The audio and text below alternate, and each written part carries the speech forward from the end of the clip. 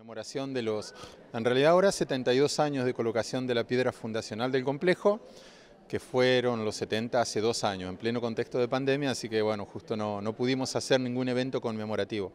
Y la idea de este dispositivo, que justamente hemos abarcado derechos humanos, educación ambiental, cooperativismo, salud, eh, hoy precisamente justo está este curso de capacitación dirigido a todo público, pero fundamentalmente a los y las estudiantes y profesores y profesoras de las escuelas nocturnas del complejo.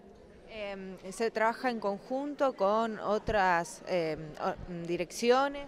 Sí, eh, la mirada que se tiene desde el complejo, en consonancia al documento 6 de, de CGE, Transitando Caminos y Puentes, es pensar justamente esto que señalaba en términos de contenido, educación sexual integral, educación ambiental, derechos humanos, cooperativismo, pero es obvio que a esta altura ya es imposible que solamente lo haga educación solo. Así que tenemos acuerdo firmado. La idea es llevar adelante un teórico práctico eh, de RCP básico con protocolos COVID por los tiempos que estamos viviendo.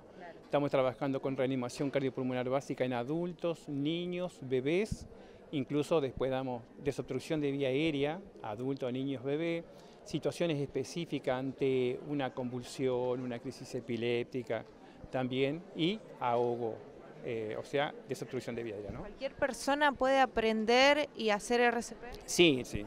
Eh, son técnicas muy básicas, son sencillas y cualquier persona eh, puede aprender RCP. Y para nosotros significa no solamente la transversalidad dentro de lo que es la parte educativa, sino la parte pedagógica, eh, dar complemento en lo que es la parte de resucitación cardiopulmonar dentro de lo que es el complejo para los trabajadores y las trabajadoras, no solamente los que transitan dentro del complejo, sino también los vecinos que quieran acercarse dentro de lo que es el lugar.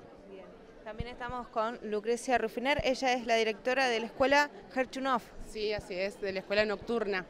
En, nosotros funcionamos eh, jardín, primaria y secundaria. Vos me decías que esto es una forma también de visibilizar eh, la escuela nocturna, ¿no? Sí, así es. Eh, gracias a Pablo y Marcelo, la verdad que nos han hecho muy presentes este año, porque hasta años anteriores como que siempre estábamos muy ocultos y nadie sabía por ahí que funcionaba una escuela nocturna y bueno, a través de estas actividades nos hacemos más visibles.